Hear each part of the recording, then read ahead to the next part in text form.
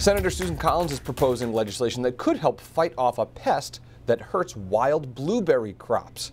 Maine's the only state in the country with a significant harvest of wild blueberries. A fruit fly from East Asia called the spotted wing Drosophila is, excuse me, Drosophila, is threatening the blueberry crop. The fly was first discovered in Maine back in 2011.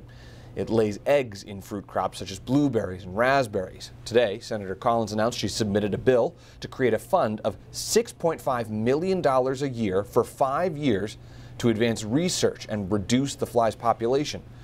Farmers harvested more than 100 million pounds of berries in 2021 after falling short of that number for four years in a row.